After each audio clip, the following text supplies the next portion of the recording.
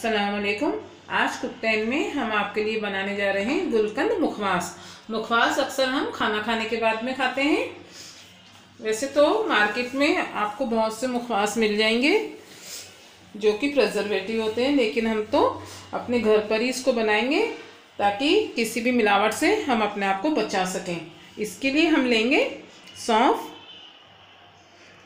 गुलकंद, जो हमने घर पर ही बनाया है और इसकी रेसिपी हमने अपलोड भी कर देखी है अपने चैनल पर।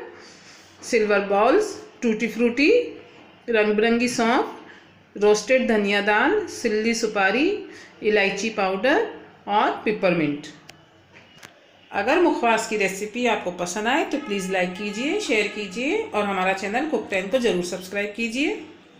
सबसे पहले एक पैन में हम सौंफ को थोड़ा रोस्ट कर लेंगे। इसका थोड़ा कलर चेंज होने तक हम इसको रोस्ट कर लेंगे। सौंफ हमने रोस्ट कर ली है हल्की सी। इसका अरोमा आने तक अच्छी सी खुशबू आ रही है।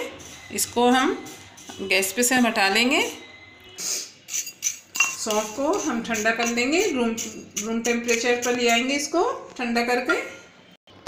सौंफ को हमने ठंडा कर लिया है। अब इसमें रोस्टेड धनिया डाल डाल देंगे। टूटी फ्रूटी डाल देंगे। रंग बिरंगी सौंफ, सिल्वर बॉल्स और गुलकंद भी डाल देंगे। गुलकंद डाल दिया है। अब इलायची पाउडर डाल देंगे। और पिपरमिंट को हम थोड़ा क्रश कर लेंगे। पिपरमिंट भी हमने डाल दी है और अब सिल्ली सुपारी भी डाल देंगे। सभी चीज़ों को अच्छे से मिक्स कर देंगे।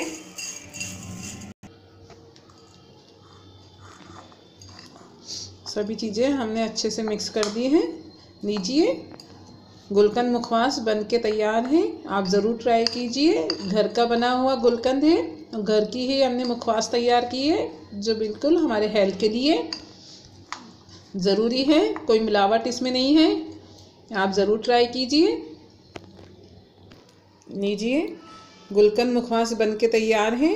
आप इसको एक एयरटाइट डिब्बे में बंद करके रख सकते हैं। ये करीब सात से आठ दिन आराम से चल जाता है। अगर आपको हमारी रेसिपी पसंद आए तो प्लीज़ लाइक कीजिए शेयर कीजिए और हमारा चैनल कुक टैंक को ज़रूर सब्सक्राइब कीजिए। अल्लाह हाफिज़।